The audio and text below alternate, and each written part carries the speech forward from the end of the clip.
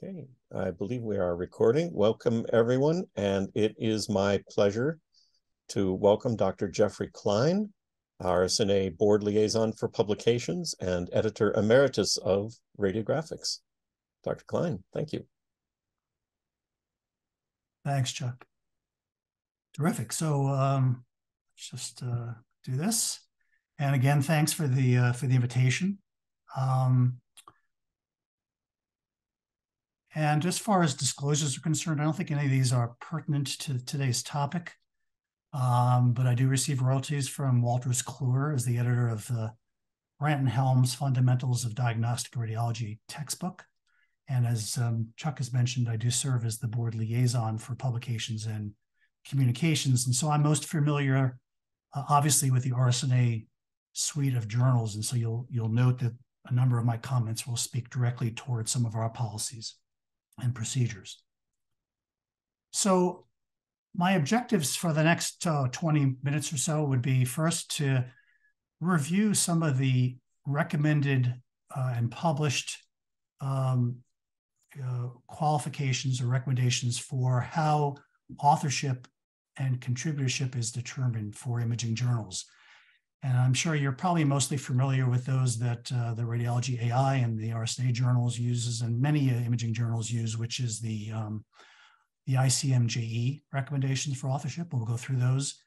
Uh, I'll just touch on an, another um, taxonomy, which is uh, increasingly used probably more in some of the basic science journals, and that's something called CREDIT, which is an acronym which I'll illustrate, which sort of is a little more granular than what we use with our journals and with most imaging journals use to determine who has contributed what to a particular article. I'll talk a little bit about authorship order, particularly dual first authorship, and uh, we'll share with you a little survey that I did of imaging journals and how they um, determine authorship. Um, and uh, then last, what I'll do is just maybe at the end make a, a recommendations for some of you who are trainees on how to handle and deal with authorship issues, which I know can be very prickly, particularly when you're dealing with senior colleagues and uh, authorship issues uh, can be a little bit contentious. So hopefully I can provide some recommendations to avoid some of the more difficult issues that might arise. So why is authorship important?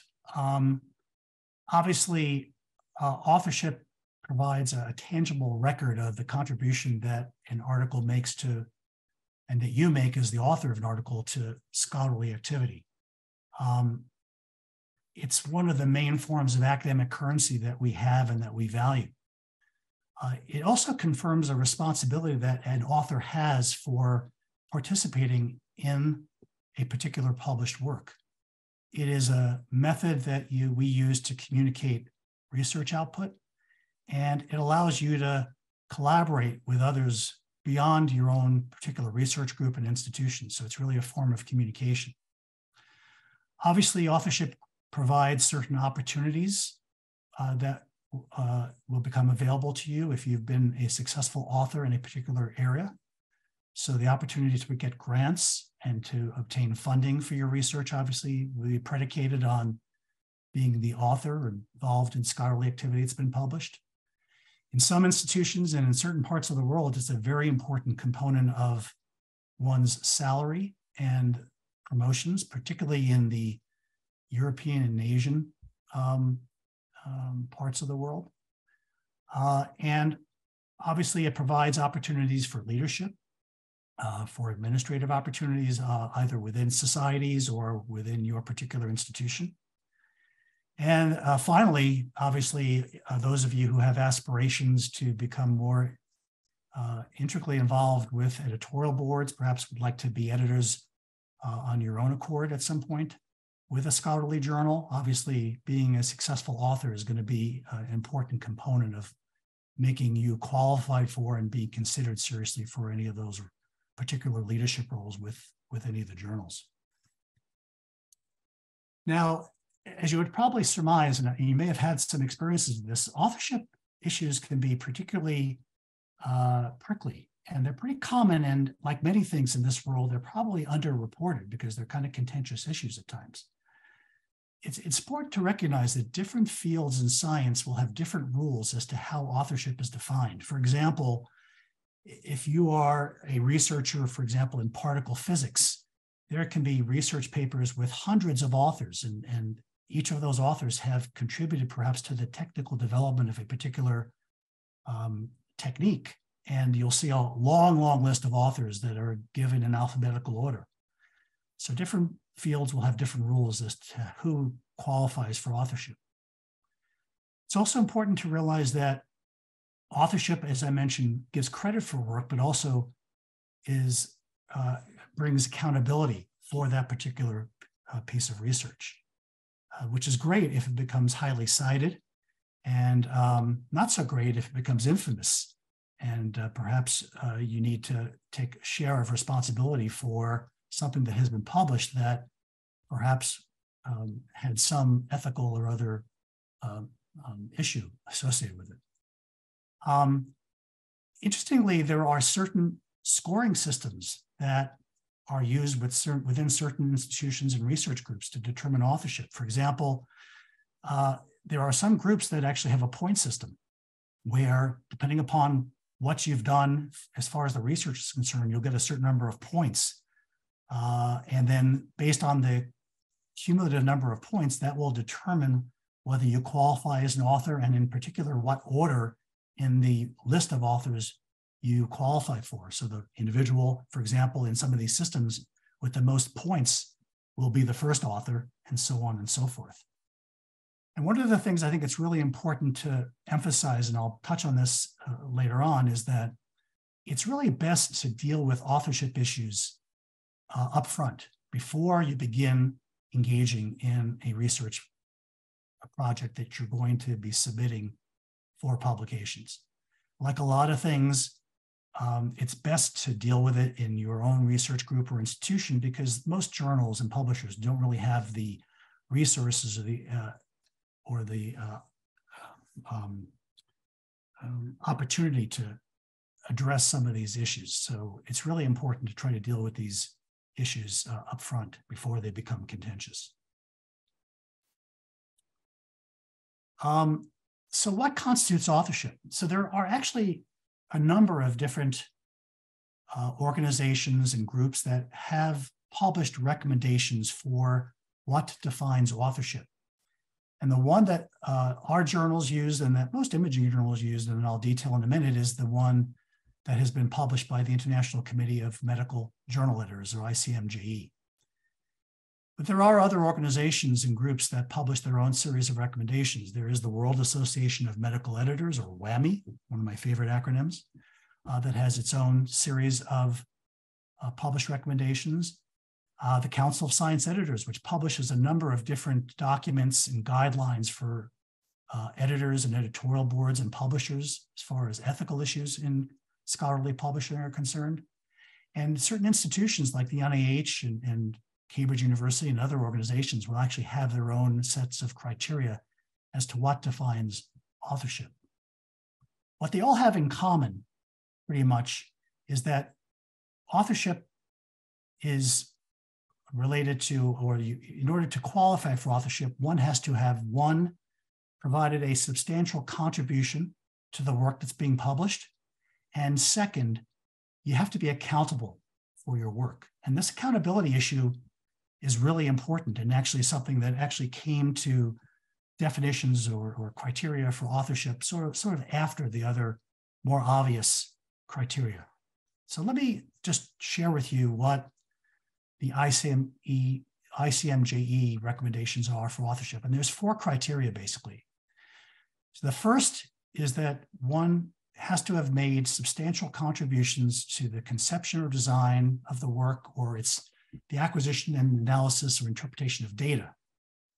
So this is an important component. You have to be, have been involved in drafting the work or revising it for critical content. You have to have given final approval for whatever is going to be published. And the fourth criteria, which was the last one that was added, is that again, you have to be accountable for aspects of the work to ensure that any questions that arise relating to any of the uh, accuracy of the content or the integrity of any part of the work or its development uh, is going to be appropriately investigated and resolved. So these are the four criteria. And basically, um, it's important to note that, the, again, the last criterion was the one that was added the most recently, because there were individuals who were involved in the conception and design of the work and writing the work and in improving it. But then it's important that people be accountable for the integrity of that work that's published. So this begs the question, what does not constitute authorship? And so it's important to recognize that simply acquiring funding for the research work that's being published does not qualify one for authorship. Uh, being an administrative support individual or supervising a research project does not qualify as a uh, component of authorship. Assisting in the writing, the technical or language editing, or proofreading, again, are all important components of a research project that's published, but does not necessarily qualify one for authorship. Most uh, journals allow those who've made one of these other contributions to be acknowledged in the work that's published, but it does not qualify one for authorship. And this is actually a, a, screen capture of a table published by the NIH. As I mentioned, the NIH has their own sets of uh, recommendations or guidelines for authorship. And what I like about this is that it's color coded. So for those of us who struggle to read lists or tables, you can see here that in the various components, the green is good and the fuchsia or pink here is, is I would say bad, but does not necessarily qualify one for authorship. And so just focusing on those things that do not qualify or constitute authorship, simply being a supervisor of an individual for their training or education or mentoring of the first author does not qualify one for authorship unless you've made substantive contributions to the study as well. Similarly, such just providing resources or importantly, being someone who is involved in reading the manuscript or commenting on it, uh, again, does not necessarily qualify for uh, authorship. So I mentioned uh, in the beginning that there are other um, sort of lists or taxonomies that uh, can be employed in determining what role an author has played in the public in a particular work that gets published. And there is this acronym called CREDIT, which is short for the Contributor Roles Taxonomy. And this is, as you can see, a very granular list of various aspects of research projects and uh, writing manuscripts that can be used to describe an individual's particular role in, in the formation of a particular um, uh, article. And I won't go into great detail here because you can see it gets very granular.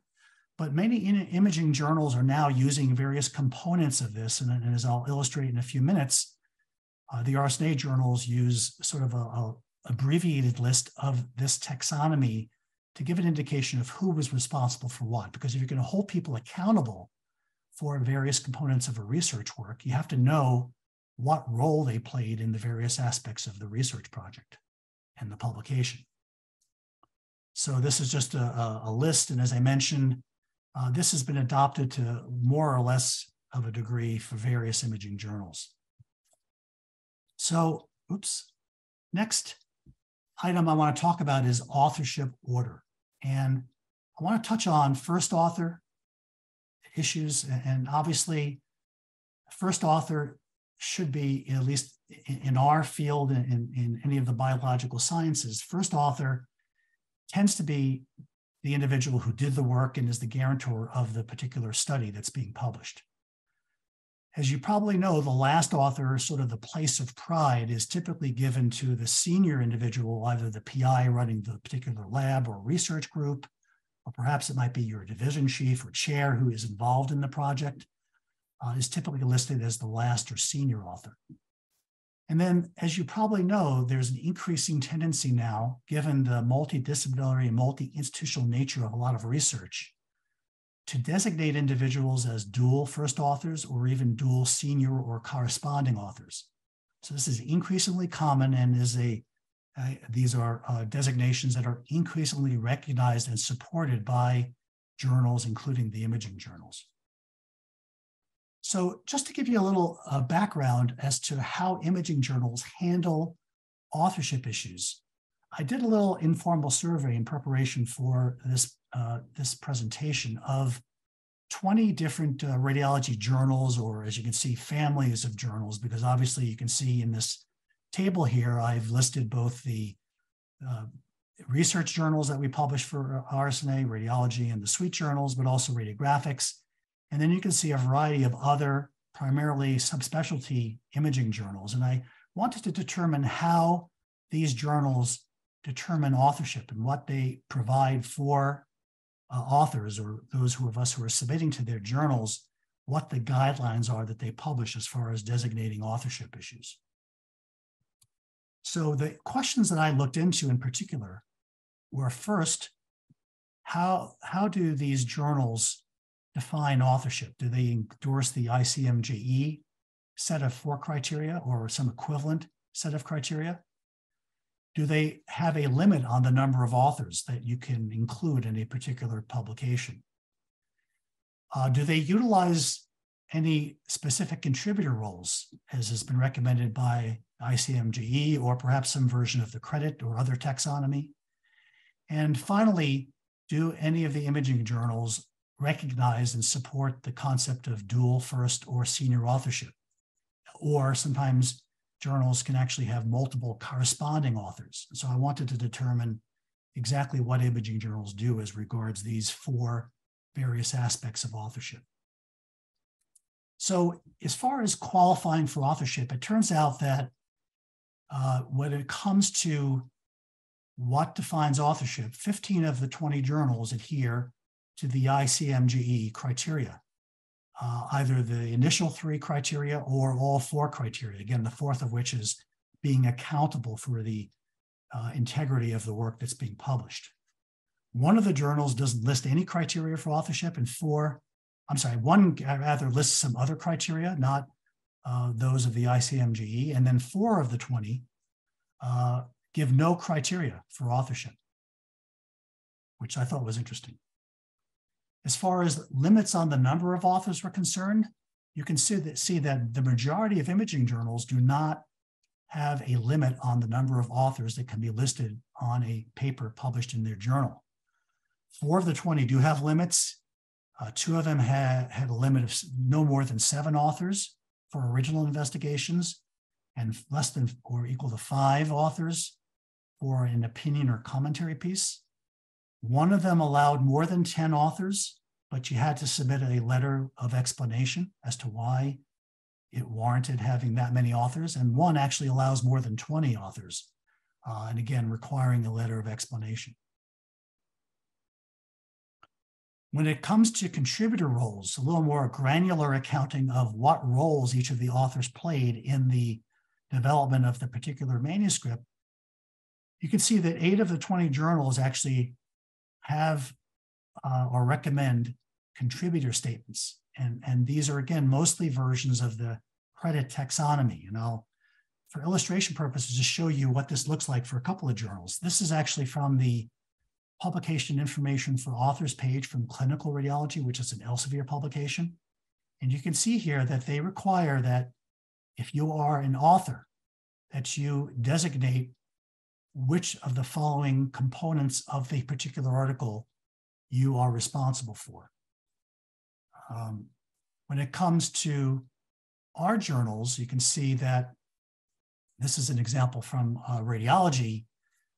Uh, we have a set of acknowledgments that appears at the end of each of our papers.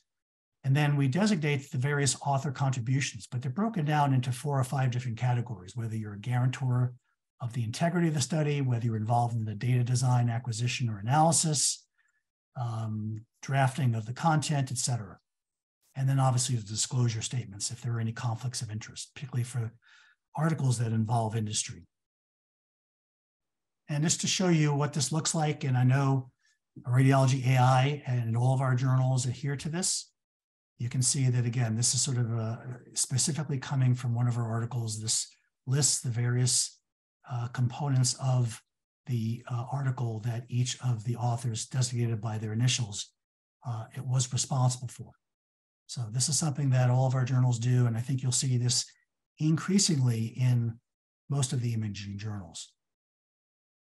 And the final issue I looked into was whether there was uh, an opportunity for either dual first or dual senior authorship with the journals. And you can see that most of the journals that I surveyed allow dual first authorship as long as you provided a letter of explanation to the editor as to why your particular article qualifies for dual first authorship, assuming that there is more than one individual that contributed equally and substantially to the development of a particular article. Several of the journals allow for dual senior authorship, again with a letter of explanation to the editor. And one of the journals actually allows for dual corresponding authors to be designated. And you can see here in uh, the publication information for authors page from uh, the journal Radiology, and you'll see an identical statement in Radiology AI and in all of our journals. This is the uh, statement in which we, we ask that if the authors feel that it's essential to indicate that there are two authors that have made an equal contribution, they'll be so identified in the caption uh, and in the author's footnotes on the title page, and similarly for senior authors. And uh, you have to make this request uh, in the cover letter when you submit the article. Um, so this is an opportunity, and uh, this is an increasing, uh, uh, increasingly popular thing. And again, in many of the research articles that are being published, in which there's multidisciplinary or multi-institutional um, involvement.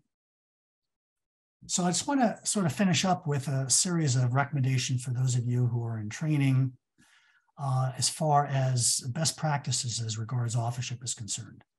And I think I can't emphasize enough how important it is to try to deal with these issues in advance when you're first developing the research project or, or the, the uh, concepts for the paper that you're going to submit. It's really better to deal with these things um, up front rather than having to deal with them post hoc. Uh, I think for obvious reasons. Um, this can be really difficult um, because there are difficult conversations to have, but I think it's important as best you can to try to designate these issues or try to sort these issues out in advance of the development of your particular manuscript. Uh, it's also important to look at the guidelines for authors. If you're if you're targeting your particular manuscript for a particular journal, it's important to know who qualifies for authorship. Or in particular, if you feel like you're undertaking a project where you feel that it's likely there's going to be a need for requesting dual first authorship, you want to know that that journal supports that policy. Uh, and also, it's important to understand who and how contributorship is, is designated for that particular journal. So become knowledgeable about these issues beforehand if possible. It's also important to realize that journal edit- editors and the editorial staff that work with journals can be utilized as a resource when it's necessary to deal with these issues. But again, these are, we really have a limited ability as editorial board members and as publishers to deal with these issues post hoc. It's really best to adjudicate these issues within your own group or department or institution. And as you probably know, many larger institutions actually have individuals or ombudsmen that can be utilized as a resource to deal with some of these disputes or issues that arise when it comes to authorship uh, issues with a particular project. So in summary, I've tried to review some of the authorship and contributorship considerations for imaging journals. As I showed you, almost all the journals and all of the RSNA journals adhere to the ICM, ICMJE recommendations for authorship. Increasingly, uh, there's more granular designations of various components of a manuscript through a abbreviated or more robust taxonomy, such as the credit taxonomy, to determine who has done what and who's accountable for what component of the article. Authorship orders are important, and it's increasingly common to request dual first or senior authorship, and it's certainly reasonable um, to do that if you feel that it's warranted in a particular project. Uh, Imaging journal guidelines should be evaluated for authorship issues as best you can before you submit and uh, provide supporting uh, letters if you feel that this is a designation, uh, dual first or senior authorship is appropriate for your particular project. And I've tried to share with you what I would consider to be some best practices for those of you in training to try to address uh, when you're contributing uh, to a project, particularly with uh, more senior faculty members. And I just want to end by acknowledging um, those of you, I think Dr. Gichoya, actually, I think I saw uh, online. I want to just acknowledge the, the role of, uh, of Dr. Gichoya and the advisory panel members for your AI trainee editorial board. Um, this is a really wonderful concept that, that obviously Chuck developed with Dr. Gichoya when the journal first launched uh, you know, almost four years ago now. And it's really important uh, uh, to acknowledge the, the selflessness of individuals who are leading this effort and really training and, and mentoring the future leaders for scholarly publishing and, and leaders in our academic specialties. So I just want to acknowledge their efforts uh, on behalf of the RSNA and uh, behalf of the journal. So I think I'll uh, stop right there. And if there's questions or comments that you have about anything that I've touched on, uh, you know, please, please feel free to unmute yourself or uh, send me a message or chuck a message, and I'd be happy to try to answer your question. Jeff, thank you so much for the, for the presentation. In fact, uh, one of our advisory panel members and TEB alums, Jeff Rudie, is uh, is on with us this evening. Jeff, glad you could could join us. Um, and uh, it's it's you know we're we're we're looking always looking for ways that we can try to improve this uh, experience for our for our trainees. So so thanks. Well, let me I'll open it up. Let's see if there are there any uh, any questions for Dr. Klein.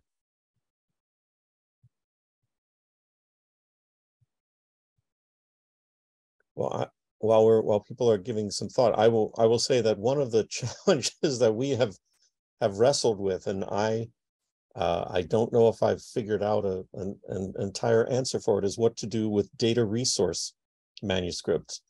Um, these are kind of akin to the, the big physics type, type papers in that uh, quite often there's a large uh, cadre of people who have contributed images, who have annotated images, who have helped create these incredibly important data sets and, and part of the rationale that we had for creating this data resource manuscript type was to be able to give credit to the people who are participating in that.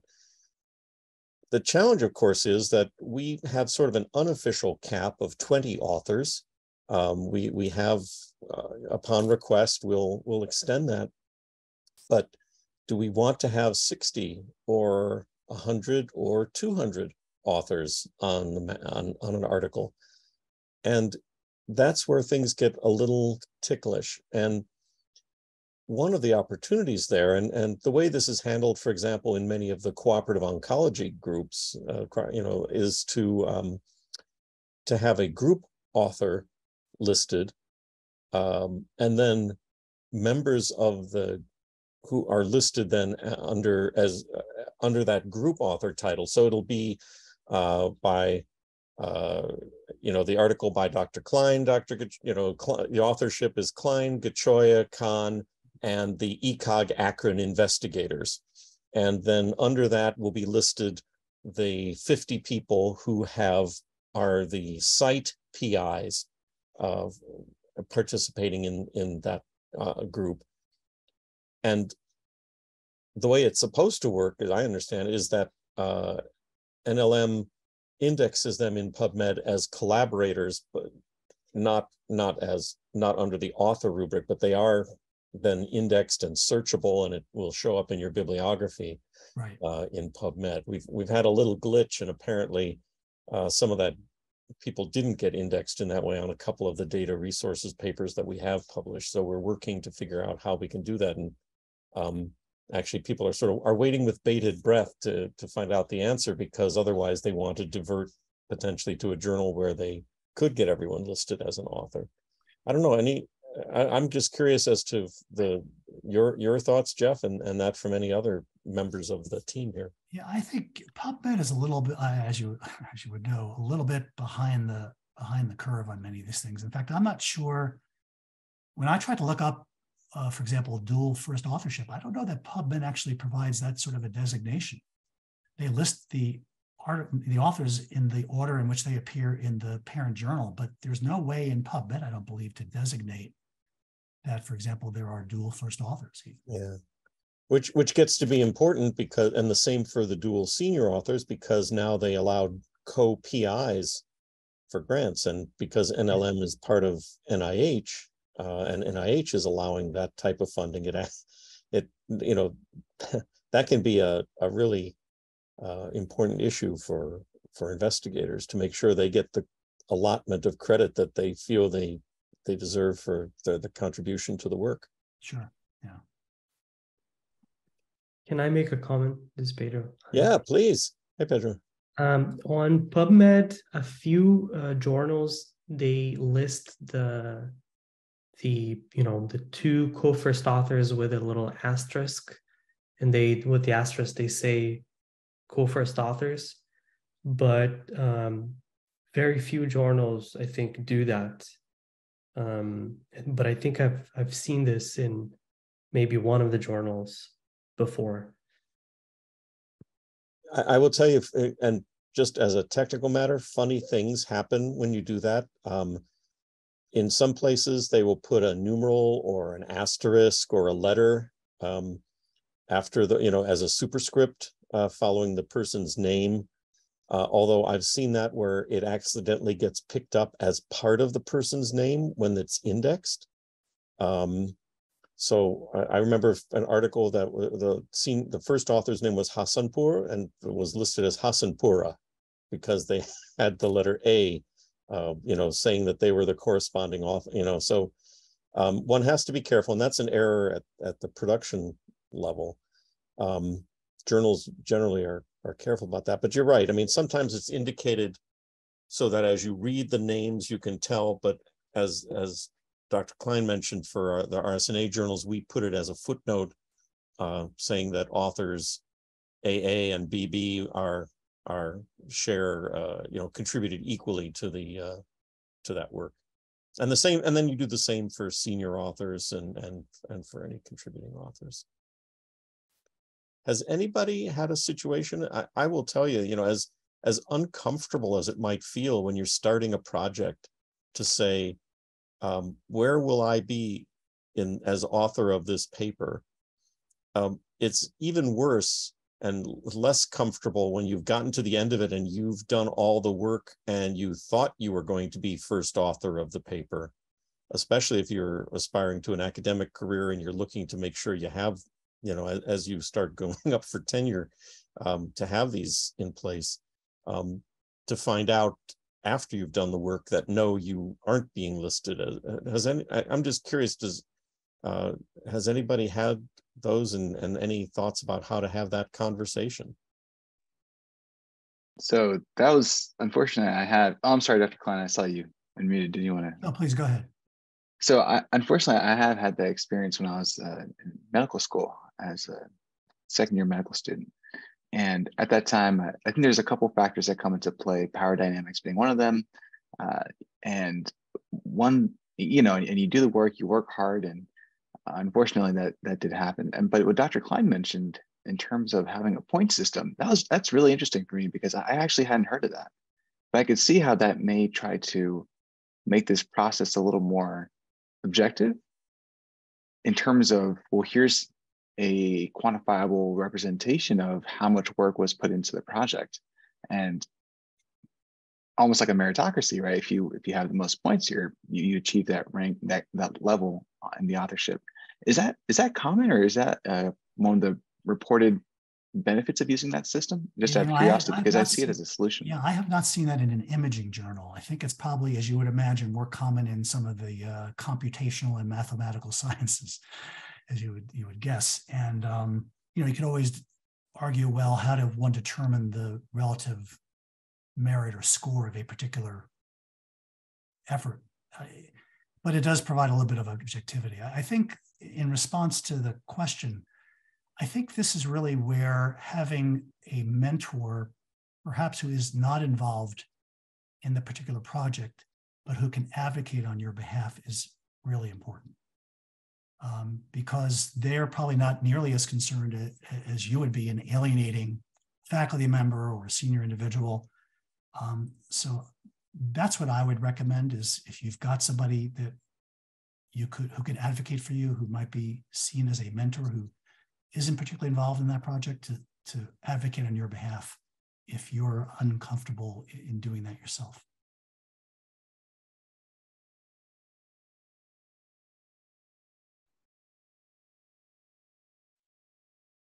Hey there, sorry. Hey Chuck. Hi Jeff.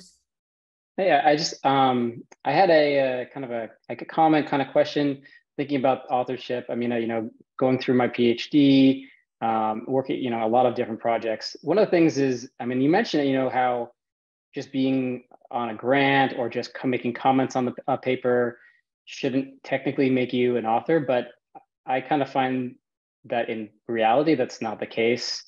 Um, there, I feel like, you know, middle authors are pretty easy to be added and, you know, they're part of the research group. They're, um, you know, they usually it's the senior author that says, well, this person's going to be added on the paper. You, most papers and projects, in my opinion, are, are you know, 80% done by the first author, 20% done by the senior. There are some projects where there may be a second, third author that contributes significantly. But in practice, I feel like there's a bunch of middle authors that don't really do anything. And maybe they, you know, you, but the thing is you, you know, you do the project, you, you put it all together, you have a paper, and then your, your PI says, well, let's, this is the draft of the paper, send it out to the authors and, and this person's going to be an author too. And, you know, oftentimes they will actually have significant important contributions. They might recommend you do some more analyses. Um, but some uh, oftentimes they won't have they'll have zero comments but they've already been listed as an author on the manuscript um, I don't know. I, I, I just, I just kind of wanted to state that as an, as yeah, like, and whether that again, that's kind of the power dynamics. You know, is you know sort of uh, doing something political, uh, right? You know, well, that person has a lab that we want. You know, we want to give them some recognition, and we hope that you know the next thing project they'll include us. I don't know, Jeff. Do you have, do you have uh, Jeff Klein? Any thoughts on that? Yeah, I, I mean, I recognize what what Jeff has shared. I think we all recognize that that's how it happens in in, in the real world. Um, I think again that these are issues that are are have to be left with the particular group or institution. Um, it's really not a place for the journal to adjudicate these things or determine who has contributed what. Um, but you're absolutely right. There are lots of folks who are authors who have not met the particular criteria for authorship. I think that's the reality of it. You can always aspire to a higher standard, but there's there's no there's no good way to make certain that that's actually what, what's transpired. And and of course the the dark side of that is the responsibility for the article. If it turns out that um you you know for for vanity reasons or you know political whatever if somebody added your name said hey we're going to add your name to this paper. Do you mind? And you go yeah sure whatever you know i love to have another thing on my cv and then you find out of course that the primary author cooked the whole thing up. Um, you know, the, the sad fact is that, uh, and, and Jeff and I know exactly who this person is, who's uh, as a highly respected uh, expert in in a, uh, what was at the time an up and coming field in in radiology and was the national leader in in many regards and was on the short list for department chairs until they got caught up in in a, a scandal and and uh, that was not not of their making at all but because they were a co-author of these papers it uh, it kind of effectively terminated the advancement of their career. It didn't tarnish their own repu well indirectly tarnished the, their that person's reputation but um, it it limited their ability to you know to move into other things. Yeah so i think the, the hope is that that accountability aspect might give someone pause to simply plug their name into an author list because they're going to be responsible whether they were or were not involved in the actual project so um, and i mean I, I, have seen times where uh, people have been listed as middle author and they've actually requested not to be an author just because they feel like they haven't contributed, um, even if uh, you know the senior author, author kind of suggested it. But it's it's kind of weird to say, oh well, I mean, because again, sometimes these middle authors may have important contributions, but it's kind of weird to send them the, a draft of the paper and then they have no contributions, and then you take them off the author list. I mean, you can't. I don't know how you kind of get around that.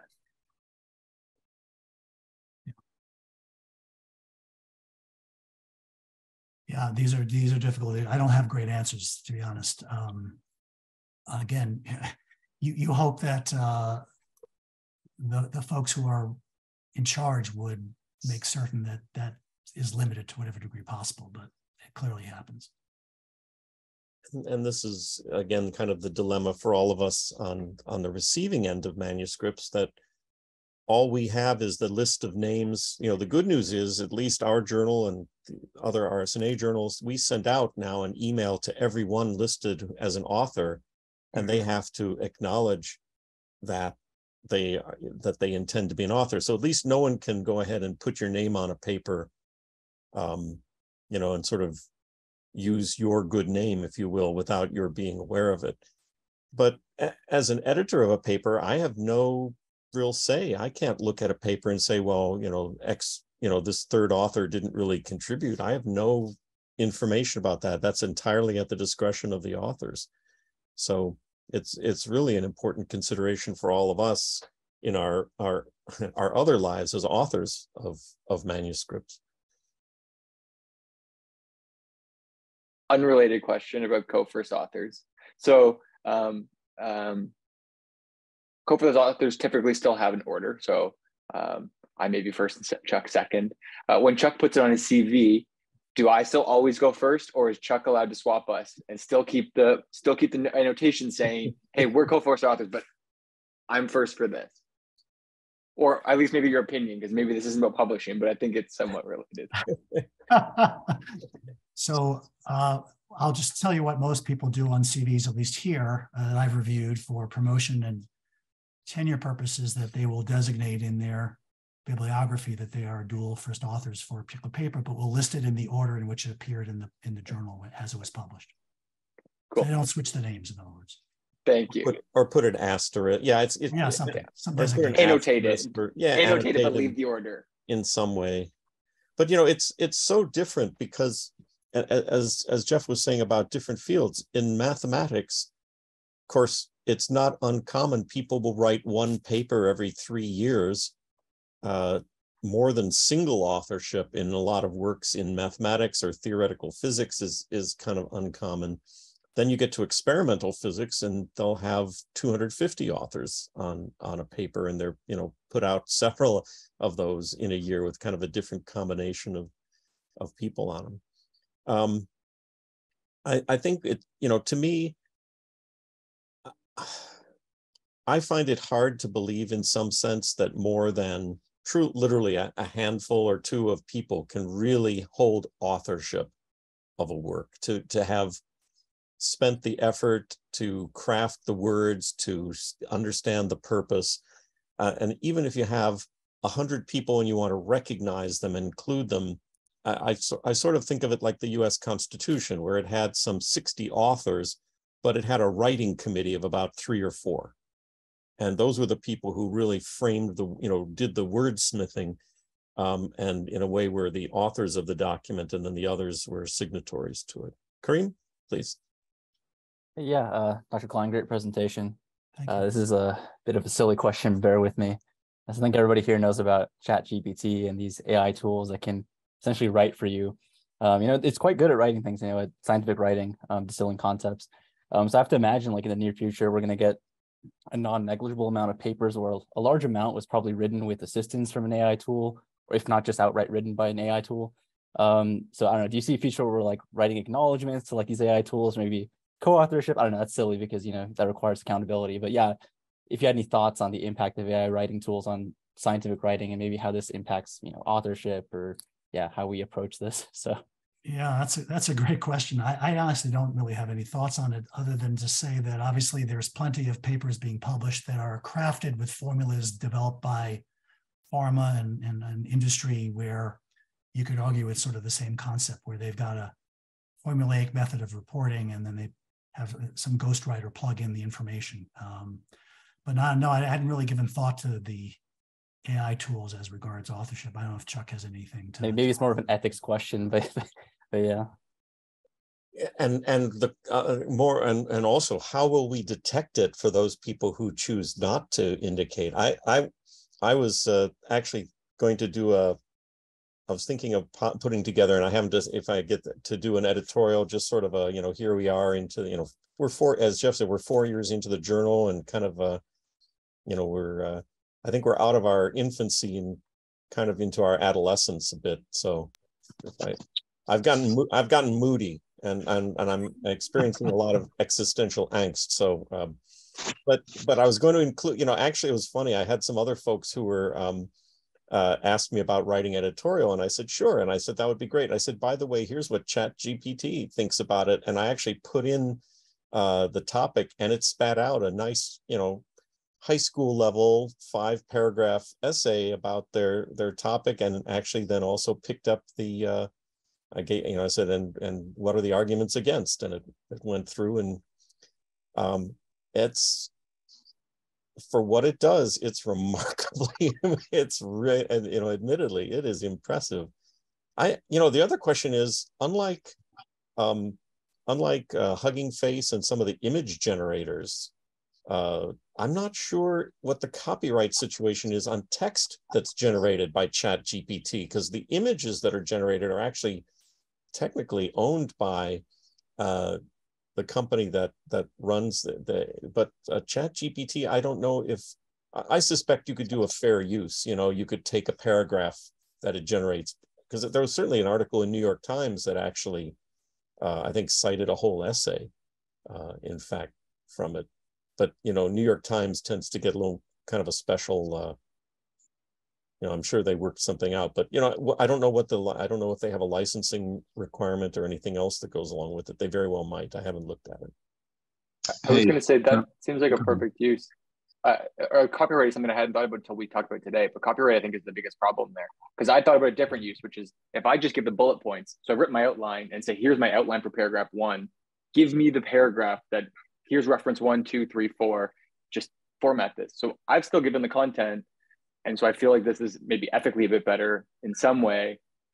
But then, the, as you said, the, who does does Microsoft own that copyright then, or OpenAI? Not clear. Yeah. Hey, hey, and, you, and you need to give them authorship credit. and and who's going to and and is Chat GPT going to? Well, it would probably write a very eloquent. Uh, it, it would probably write the legal document. In fact, granting you intellectual property rights. Uh, John, you had a comment? Yeah, you can actually detect OpenAI uh, Chat GPT now. Uh, so there's something that Hugging Face actually developed with OpenAI called Roberta Base, R-O-B-E-R-T-A, based off of the BERT, the National Language Transporting, and it will give you a confidence interval, uh, just like when you're looking at um, plagiarism.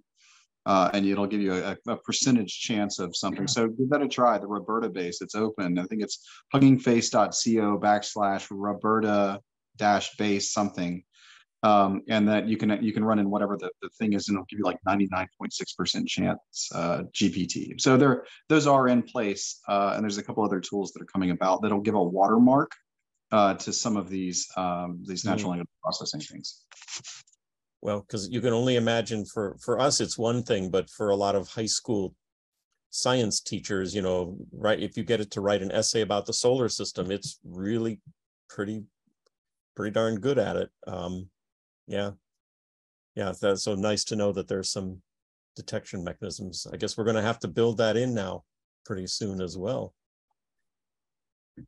Yeah, I'm just uh, um, adding to that. I'm kind of preparing a talk for next next week at SIO where I'm like talking a little bit about publishing AI. So I, I use the chat GPT, just ask some silly questions. So like, please write my research paper. Then it asks, what are you writing about? And then I said, yeah, artificial intelligence in radiology. And then you get like, I mean, it doesn't really tell you what to write, but the funny thing is it gives you quite some hints, you know, where to focus, for example, uh, you know, things ethics or diagnosing something. So it kind of gives you some clues, you know, in which direction to go. Um, and then when you ask um, how do I get an AI paper accepted in radiology artificial intelligence? It gives you a, a list what you should check and what you should look for. It's, it's kind of interesting the uh, the answers you get there. awesome. This CLAIM checklist come up? um, not the CLAIM checklist, but it's um, I mean it's kind of close. I mean there's like follow the journal submission guidelines. Um, yeah, and then some some other things. So you're getting close to just hitting the CLAIM checklist uh, and the link for it. Well, thank you everybody for a really robust discussion. Jeff, thank you for uh, for a great presentation today. Really, really informative and and uh, and enjoyable. And I think uh, for the, for our editors who are also authors, really uh, a lot a lot to think about here. Thank you, Chuck. Thanks everybody. Appreciate it. Folks, thank, thank you, Dr. Klein. Thank you, Chuck. We'll see. We'll see you all next month. Bye now. Take care. Thank you. Take care. Bye -bye. Thanks.